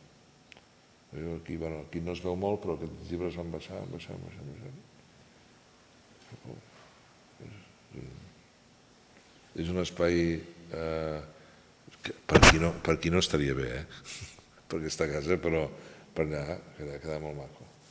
I després, ja vaig acabant, és a dir, hi ha exposicions que el que expliques, l'objecte té un valor molt diferent. El brossa, per exemple. Expliques, havíem d'explicar el brossa a Madrid. Eh, el brossa ja sabeu que feia diguéssim, un tipus d'obra que més que plàstica era conceptual. És a dir, que no és que fos com una escultura que és maca o no maca, sinó era com un pensament, era una poesia, era fer poesia visual.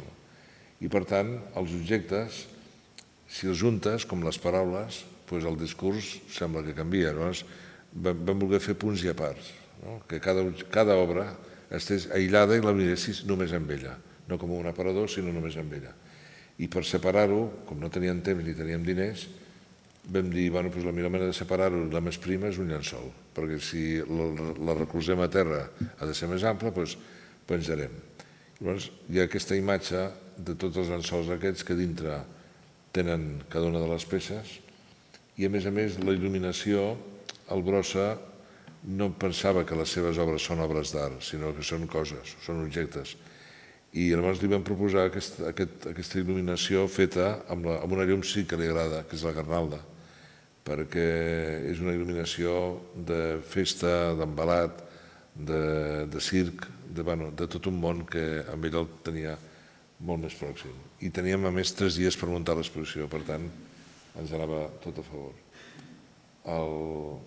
Aquí les obres que estan pensades aquí. Bueno, L'avantatge que tenia, més a més, això, que si s'embolutava un llençol, el canviaven, el portaven a netejar i en posaven un altre. És a dir, que era una manera de reposar molt fàcil. No? Aquí. Aquest és un típic exemple. Aquestes és com les ales del, de la primera exposició que heu vist, però el brossa amb aquesta cadira de, de guineu, amb aquesta cua de guineu. O bé només vam, vam posar totes les peces, algunes peces que havia fet ell juntes, amb aquesta mena de, de taula de convidats, on a més a més la Granalda, que ens, ens, ens eh, servia per seguir el recorregut, a més a més, es feia un embolic i quedava com una làmpara de, de peu.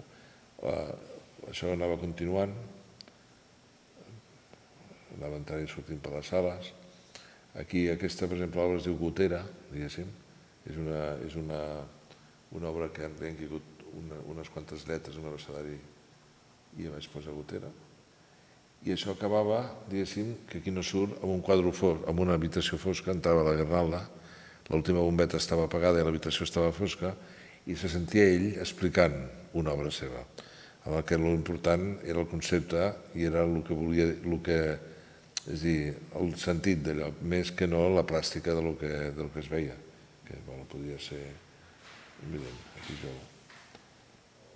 Exposicions, per exemple, com el del Mariscal, que també expliques una persona, i el, i el Mariscal era que la seva, la, la seva feina que havia fet fins a l'any 92, arrel de les, abans de les Olimpiades, doncs era una persona que mm, feia, feia il·lustració i, i feia disseny i se li volia fer una exposició en un museu. Llavors ens ho van dir nosaltres i vam dir que semblava que el que ell explicava no era per un museu, però sí que ens, ens semblava que si ho posàvem dins un barco, un vaixell gros, un carguer, doncs era una, una mercaderia entranyable, perquè hi havia coses pues, que estaven molt bé.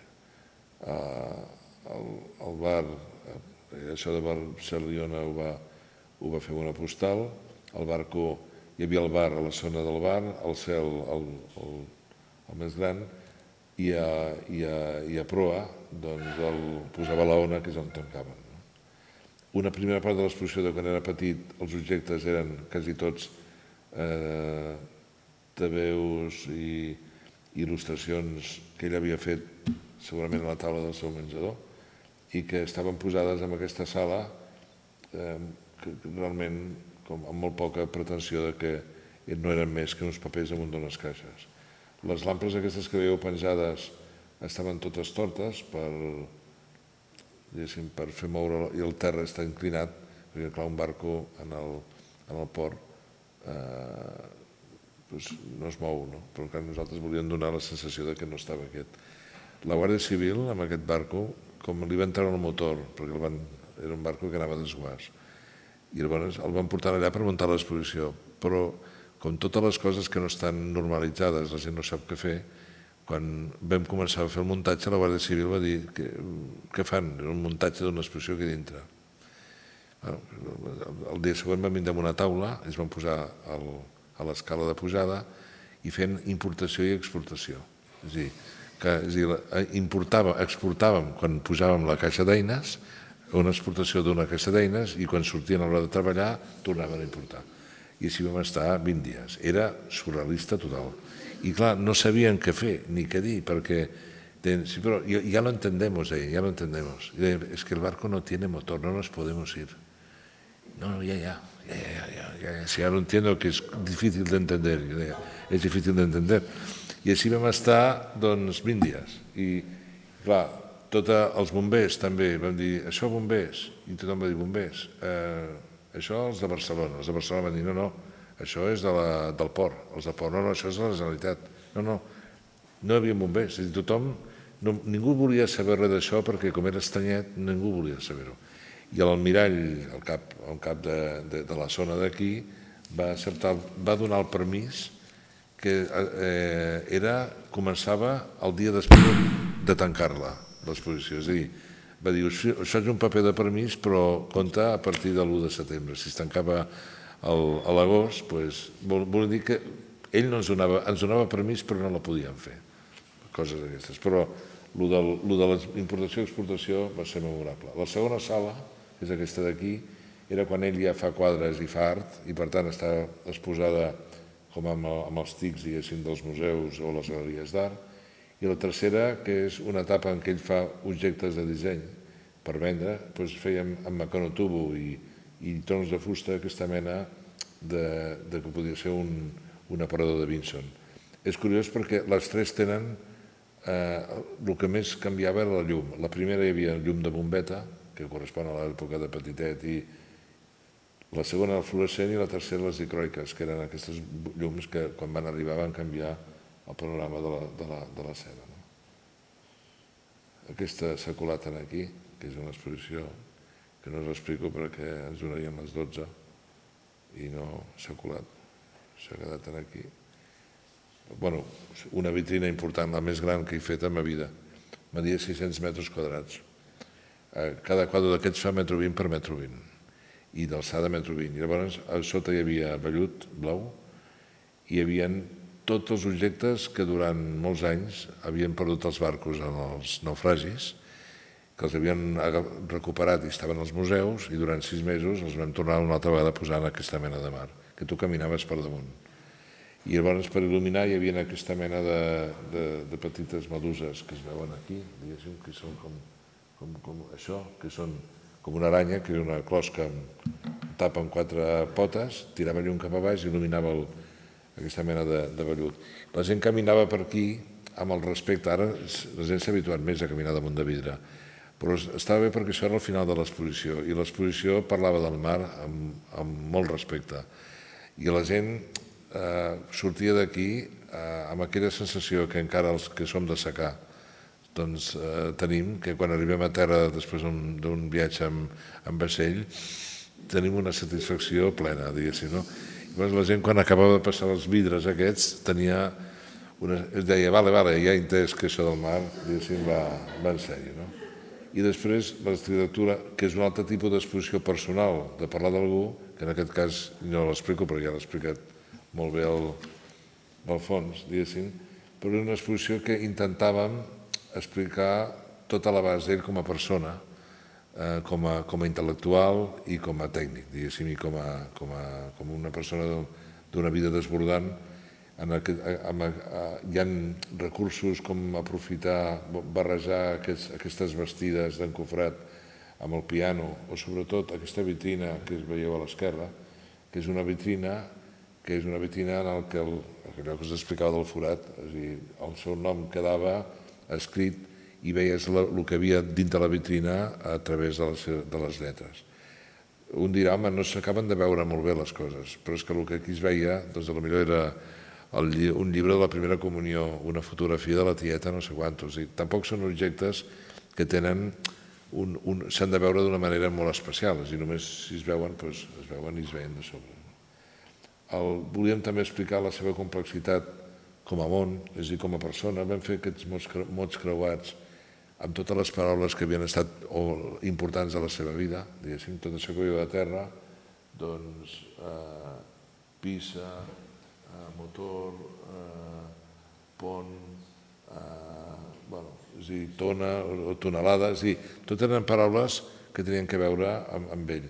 I aquest muntatge, que té aquesta vocació també experimental que ell tenia sobretot a la seva joventut, i després que bueno, es repassaven moments de la, de la seva història científica, bueno, tècnica, amb les voltes, amb, el, amb les vigues de la plaça Catalunya, bueno, en fi, que teníem l'avantatge de que disposàvem d'un espai generós, els seus nets eren els, eh, els, el rector o el director de l'escola i també vam intentar eh, trobar mitjans per poder explicar per exemple, allò que us deia del pou de llibres, doncs aquí, per exemple, ho fèiem per explicar la seva faceta ferroviària, aquesta és una, és una imatge que ten, tenim un metro, un metro de, de, de viga i tot l'altre és reflexa.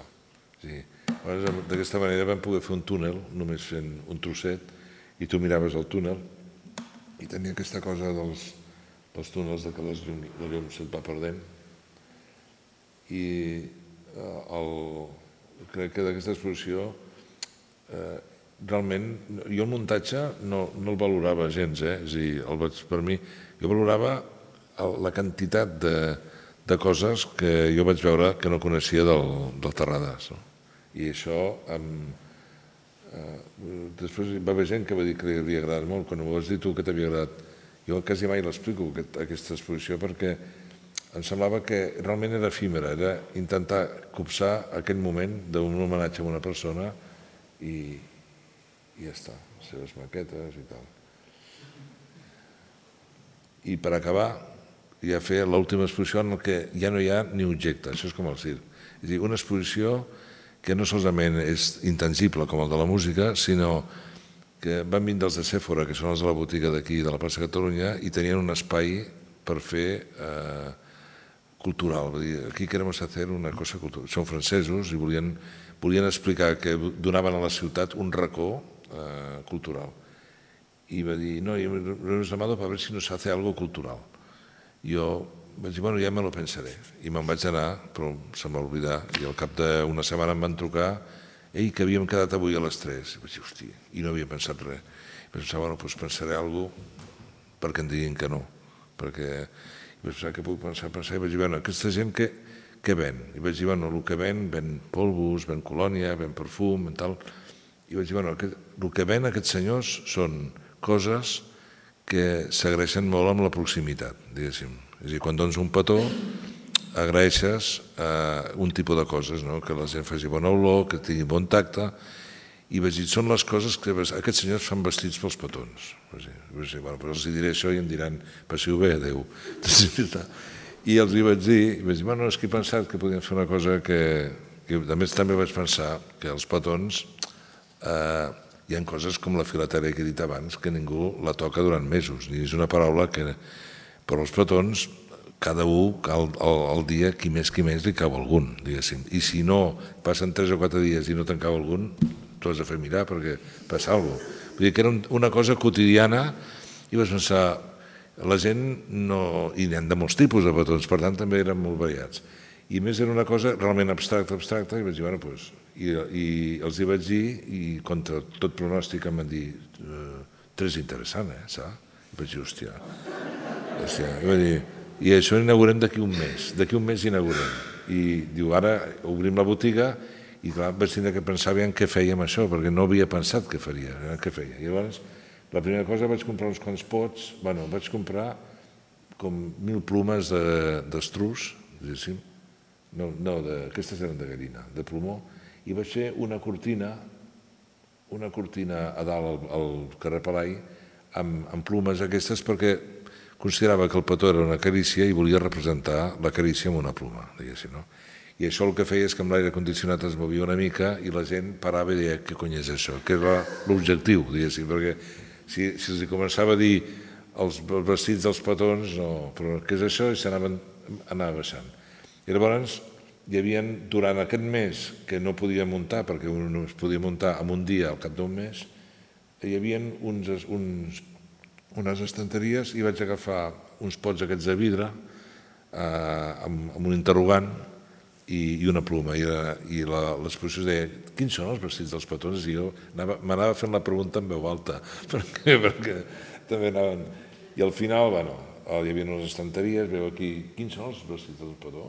i doncs el, el dia de la negociació aquests pots es van convertir en uns pots que en realitat el que van fer va ser una exposició de fotografia de, cine, de perquè hi havia, eh, tots eren una bombeta dintre, llavors hi havia, vaig anar a, a, a aquests estius fotogràfics i hi havia totes les fotografies de, de, de, del cinema, les que volíem. Hi havia petons eh, allò carinyosos, arrebatats, passionals, eh, animals, eh, el rintintín, eh, la mula Francis i de tota mena sortia, no? Alguns que eren censurats en negre, vull dir, tot era. Llavors intentava dir, bueno, els, els, aquests són els ingredients dels petons. Bueno, això són els petons, però llavors hi havia dues coses més que eren de què estan fets els petons i eren aquests metres ponts, pots, i llavors aquí hi havia una A, una B, una C, havia un abecedari, i llavors hi havia cada lletra i totes les paraules que trobava al diccionari que tenien que veure amb, amb els petons, amorós, escarós, amable, arrogant, vull dir, i veies que tot, amb els petons et servia tot, és a dir, tot, les paraules serveixen. I després hi havia un, una tercera cosa, que era eh, els poders dels petons. Llavors aquest, també amb això dels, dels miralls, hi havia, per exemple, una, un, una pluma llavors un plat trencat, diguéssim, es convertia en un plat sencer, diguéssim, que arreglen estropicis. Els petons arreglen estropicis estalvien explicacions, diguéssim, eh, abriguen amistats, diguéssim, hi havia sempre un objecte per acabar d'això, acceleren cors, hi havia allò dels metges, que com es diu allò per, per el, sí, el fonendo. Eh, fan sortir els colors, diguéssim, tot això dels poders, arrosseguen conseqüències, hi havia unes sabatetes i unes paladilles, també s'ha de saber portar això, i, i desencanten els encantats. Llavors hi havia un, una granota que es convertia en, diguéssim, en corona. Bueno, I llavors, i això, i que hi havia dues càmeres filmant a, a, a dos puntes diferents de Sèfora, i tu et, el, et filmaven fent un petó així i l'altre també, i llavors juntàvem les imatges. I llavors veies tot de gent que s'anava donant petonets, que estava molt bé. Bueno, això és per arribar a la conclusió de que entre la primera exposició que us explicava i aquesta, doncs que aquesta no tenia ni objecte, ni subjecte, no tenia res. I jo, per mi és de les exposicions més intangibles que he fet, diguéssim, però que inclús de la re sempre pots algo explicar, no? Ja està. Ja, no.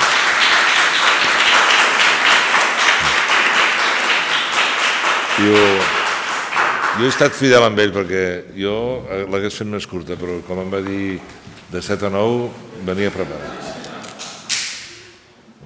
Amb, amb el Dani potser aquest és el perill, no? que li, li dius això i, i, i podria estar sí, no, però... molta més estona. De fet, no ha fet més que donar alguns exemples de, de la seva llarga trajectòria a en aquest món. A mi costa molt escollir, quan, perquè de cada exposició d'aquestes ara ja que n'he fet molt, moltíssimes, i les recordo totes, és a dir, recordo cada cosa no com era, sinó perquè la feia. Això, em, bueno, suposo que això em, em, em, deixa, em manté content. I també el que està malament, perquè del, del que et surt bé no aprens. Aprens, aprens però no saps ben bé. Però el que et surt malament sí que aprens. Eh? És dir, saps ben bé per què t'has equivocat. I a la segona ja, o la tercera, a vegades, dues vegades. No? Jo et dono les gràcies perquè eh, explicar la, les complexitats i les interioritats de, de l'exercici d'un ofici doncs, eh, no, no, no sempre és fàcil i, i encara Mm, trobo que fer-ho amb aquesta dosi d'emoció de, que tu afegeixes eh, encara és més, més eh, extraordinari. No? Alguns de, dels meus col·legues eh, els dic que quan la sort que tinc jo de, de poder treballar amb tu en aquesta exposició que estem fent ara, perquè cada vegada que, que me'n vaig a, a treballar amb tu, doncs, mm, no només és una, tenir com un mestre particular, no? Aprens cada dia que vas a... a... Però també corres el risc aquest d'escoltar, de, d'escoltar i d'escoltar i dir, ostres, no, no hem fet res no, no, I, que... i en canvi me'n vaig a casa i, i, i, i ostres, he après una quantitat de coses brutals, no? Bé, no he fet res, sí que hem fet, però evidentment d'un altre, altre tipus de, de fe. Mm, pregunteu, perquè jo sí. tinc l'oportunitat de preguntar-li moltes coses sovint i, i ara teniu l'oportunitat. Agustí. Sí. Merci. Volia preguntar si en algun, moment les opinions dels visitants sí. primer les has pogut captar mm. fins a quin punt han influït en la manera de valorar no, no, tant les institucions sí. Sí. arribat missatge de gent que ha vist l'exposició i, Sí. Home, això jo, jo això és com quan fas un restaurant, que també n'he fet uns quants, diguéssim, que per saber un restaurant com t'ha quedat, el millor és que vagis un dia i li preguntis a la camarera, què, com va això? I amb la cara que fa ja saps com va.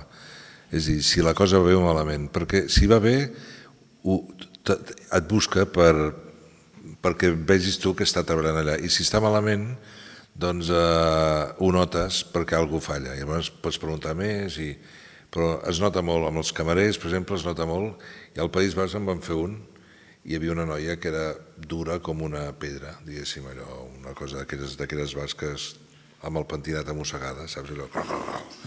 I la, la Maria Jesús es deia, i, i el, quan vam anar a veure Maria, Maria Jesús, què? Com va? I la resposta va ser, ando menos. Punt. És a dir, per ella això era un discurs, eh? És a dir, ando menos volen dir, m'estalvies eh, caminar. Ni m'agrada, no m'agrada, ando menos. Jo em va quedar l'ando menos i vaig dir, bueno, tu, això és bo, anda menos, anem bé.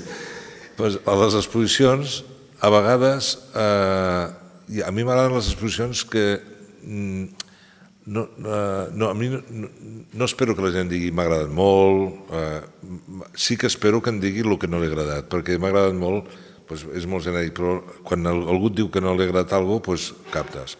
Va, com jo he fet al llarg de la vida, he fet molts errors. Allò, lletres petites, eh, poca llum en un racó, eh, algun tema que no li he tocat prou amb intensitat, alguna, alguna cosa que no li he donat el valor que, que li de donar, i, home, i, i, i, i amb els directors, diguéssim. També alguna, alguns errors han estat en complicitat amb el director, que també vol les coses d'una manera i per respecte a una persona que és el seu món, també li fas, diguéssim, no? Però normalment eh, jo crec que n'hi ha algunes que no, no poques, però tant tant fas alguna cosa que, que no tenen mm, una, una acceptació de la majoria, sinó el que pretenem la gent que ens dediquem a això, que costa molt, és la, la unanimitat, diguéssim. És dir, fer alguna cosa que no t'hagis d'explicar i que la gent estigui bé, que això a vegades passa amb les pel·lícules. Hi ha pel·lícules que tothom està d'acord que li agraden. I, I no es tracta de que tothom li agradin, perquè llavors ja fas, Eh, fas un populisme que no és això. Però sí que hi ha coses que són tan evidents i tan senzilles que la gent les accepta i, i, i no sap ben bé què dir. I quan algú no sap ben bé què dir vol dir que eh, encara ho està païnt, això. No? És a dir, que les bones exposicions no són les que et donen respostes, sinó les que et fan més preguntes. Les, la, una, tu surts d'una exposició amb més bones preguntes que les, entrat, que les que has entrat i, i és el, que es pretén. Però bueno, jo, per exemple, jo, el meu pare, que era sastre molt punyetero, diguéssim, el, jo el, el tenia com, com de l'enquesta Gallup, saps? Aquelles enquestes, aviam que... I el portava i deia, això, no m'hi veig, eh? no m'hi veig prou. Bueno, no, la lletra és petita, eh, és llarga, Eh, això no, no, no està ben explicat, és a dir, era super estricte, no? i a vegades massa perquè aquesta primera exposició que heu vist, la dels... aquesta la primera, la vaig portar i, clar, era la primera obra que feia. I a mi tant, i va dir, hosti, quina llàstima, no? Set anys estudiant per acabar fotent una, una, unes ales unes ales a una cadira. I jo vaig dir, hòstia, perquè era tum, allò, tum, i al cap de 30 anys el vaig portar a veure aquesta de, de, de, de Sèfora, que també havien, i vaig dir, collons, 30 anys treballant i, i tenim que penjar plomes, eh? I, i vaig dir, escolta, és que penjar plomes que no se'n moguin és més difícil que calcular un pilar, de debò. I mira, mira, quanta gent coneixes tu que penja plomes? I, i el pilar, jo en conec moltes que fan calculant pilars.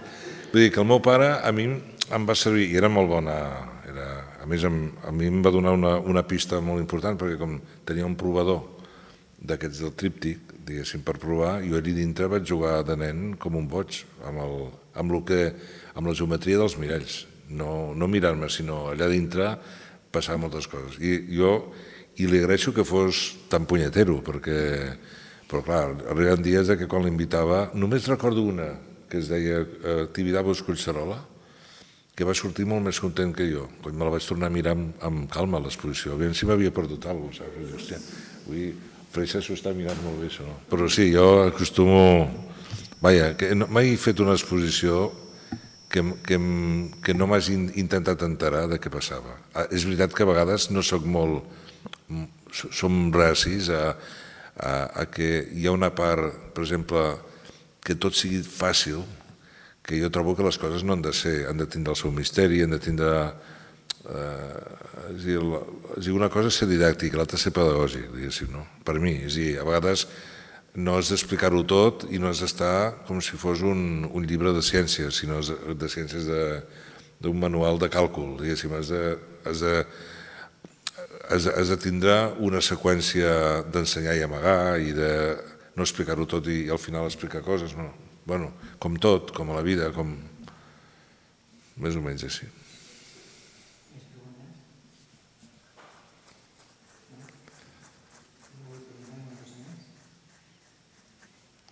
La relació de la, de la pèrdua del cabell i, i la feina no té res a veure, això també us he dit al començament, però era mentida. Eh?